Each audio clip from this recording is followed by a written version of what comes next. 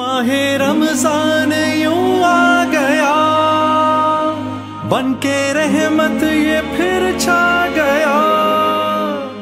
اب سحری کا حکم آ گیا۔ وہ کلو وشربو حتٰ تبین القم الخیت الابید من الخیت الاسود من الفجر۔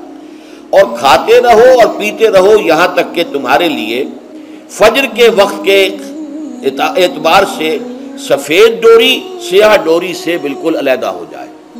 اصل میں اس کو بعض صحابہ نے تو سمجھا کہ یہ لغوی معنی اس کے لیے لیے کہ آپ اپنے تکیے میں ایک سفید دھاگا رکھ لیا، ایک اور ایک کالا رکھ لیا۔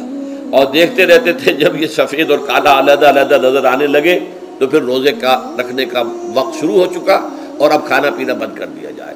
فرمایا گیا، یہ مراد نہیں ہے۔ یہ جب پاؤ پھٹتی ہے تو اس کے اندر ایک سفید سی لکیر جو ہے افق کے اوپر آتی ہے۔ یہ ہے مراد۔ کہ وہ جو سفید لکیر ہے وہ ظاہر ہو جائے اور وہ رات کے اختتام کا گویا کہ ایک اعلان اور علم بن جائے۔ تو وہ کلو وشربو اب اس کی جو ہے بڑی تاکید کی گئی ہے۔ تصہرو فن نفس برکت سحری ضرور کیا کرو۔ اور یہ در حقیقت برکت کا ذریعہ ہے۔ یہ بھی آپ نے فرمایا ہمارے اور یہود کے روزے کے مابین جو فرق ہے وہ سحری ہے۔ یہ سحری کیونکہ روزہ جو ہے وہ فجر سے لے کر اور غروب آفتاب تک ہے۔ طلوع آفتاب سے نہیں، فجر سے۔ جبکہ وہ سفید سہر جس کو ہم کہتے ہیں، نمودار ہو جائے۔ طلوع آفتاب تو ابھی ڈیڑھ گھنٹے بعد ہوگا کہیں جا کر۔ لیکن اس وقت جو ہے، روزہ شروع، غروب آفتاب پر ختم۔ اس حوالے سے، اس سے پہلے کھانا پینا، اور اس میں بھی فرمایا گیا کہ بعض لوگ بہت زیادہ احتیاط کرتے وہ صحیح نہیں ہے۔ اس لیے کہ فجر کے لیے اذان جب دیتے تھے تو اس میں بعض حضرات ذرا جلدی کرتے تھے، حضور نے فرمایا کہ نہیں دیکھو، یہ ذرا جلدی کر دیتے ہیں۔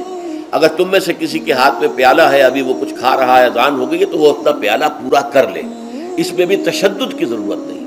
جیسے کہ اس سے پہلے ہم پڑھ چکے یسر ولا تو یرید اللہ بکم السر ولا یرید و بکم العسر۔ اللہ تمہارے ساتھ آسانی چاہتا ہے، سختی نہیں چاہتا۔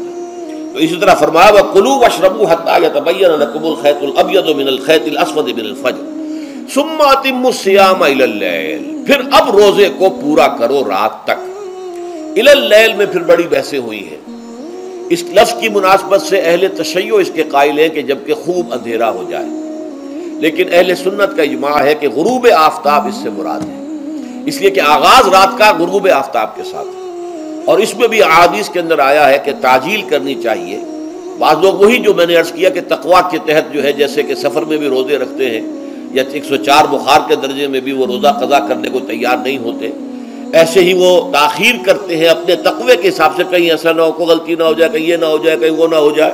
تو پھر اس کے اندر وہ افطار میں، تو آپ نے فرمایا کہ قوم جو ہے اسی وقت صحیح رہے گی جبکہ وہ افطار میں اجلت سے کام لے۔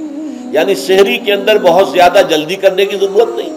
اگر آزان ہو رہی ہے، اس کے دوران بھی اگر کچھ کھا پی رہے ہو تو کھا پی لو، مکمل کر لو۔ اسی طریقے سے افطار کے اندر جو ہے وہ تاخیر کرنے کی ضرورت نہیں۔ سورج کے غروب کے ساتھ افطار کر لو۔